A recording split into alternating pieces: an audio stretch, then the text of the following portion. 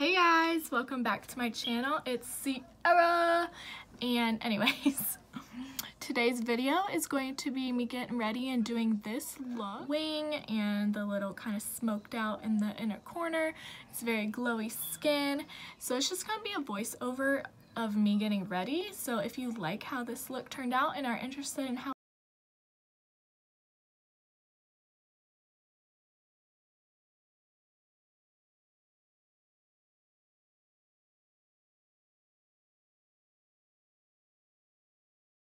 I am using my Wet n Wild concealer. I think it's in Fair. And I'm putting that all over my lids. And I'm using my Real Techniques brush to blend it out. And I'm blending it up to my eyebrow. This will give it a really good base to help the colors pop since we have a lighter base to start off with.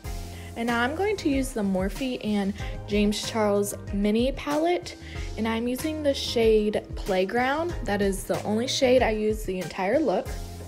And I'm starting off in my inner corner with the Morphe pencil brush and I'll be mapping out where I want to put the rest of the shadow. And I'll leave a more detailed description of all the products and the shade of the products in the description box for you guys. And I actually found inspiration for this look from a Pinterest photo. It was actually in yellow, but I wanted to do blue. And the look was a lot thinner than what I'm making it, but since I have hooded eyes, you know, you have to make accommodations for your eye shape. And this shade Playground, I was really surprised with it. It is very vibrant. It packs on very nicely. You don't get that patchiness with some kind of vibrant colors like in other palettes I've used. And it's kind of like a Cleopatra inspired cat eye also. So I really liked how this turned out. And then I'm just going back in with that Wet and Wild concealer and a concealer flathead brush to kind of carve out the top to make it look more precise and more put together. And if you guys have any tips on how to kind of blend out that line right above the blue so it doesn't look like a obvious concealer line, please let me know. That was probably the only thing I kind of had an issue with, so that's why I went in with a wet wipe trying to rid the excess because I wanted a precise, nice line, not a blended out line. And now I'm going in with the Becca Aqua Luminous Foundation. I really like this foundation. It is kind of like medium to full coverage, but it also feels like you're not wearing anything, so that's my favorite thing about it. It's like full coverage, but still feels like skin. And we are blending out with another Real Techniques brush. Again, I will leave the brush names, all the shadows of all the products and colors that I used in the description box below. And I'm going in with my Morphe Full Coverage Concealer. Ever since I got this at my last haul video, I've been using it every day. It is definitely very full coverage and only $9. So I'm liking that very much.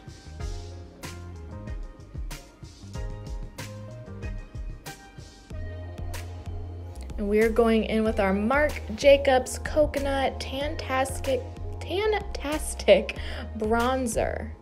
I really like this bronzer. I've been trying to use it a lot just because it is a big pan and I don't want anything to go to waste. So we're just doing a little contour, nothing too crazy, just because I want to keep the focus more on the eyes. So I guess it's more of a little bronzer.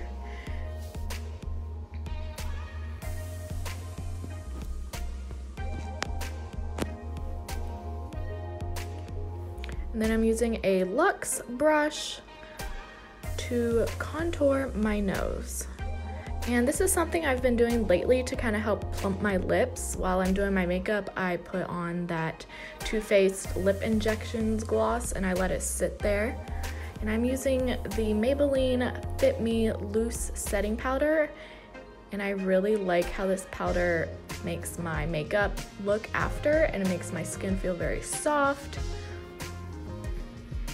I'm gonna just wipe that away with just a regular e.l.f. blush brush. That is a tongue twister, you guys.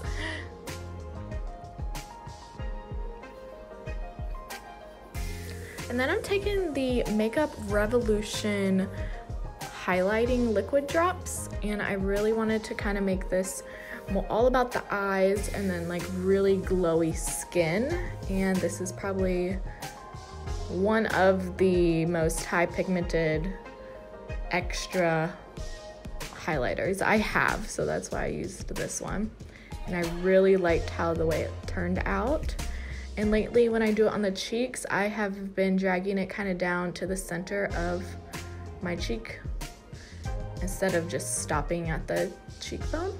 So I like that look now. As you see, I bring it down further, kind of the center of my cheeks. And then we're just going in with my tried and true L'Oreal Voluminous Mascara. And we're just putting that on the bottom lashes and then I will come back and I will have my falsies on from the brand Kiss. So yeah, this was a quick short video and I hope you guys like it. It's It was pretty fun to create. So thank you.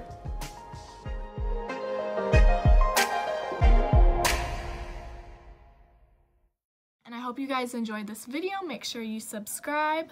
I'm having a huge giveaway at a thousand subscribers, so stay tuned.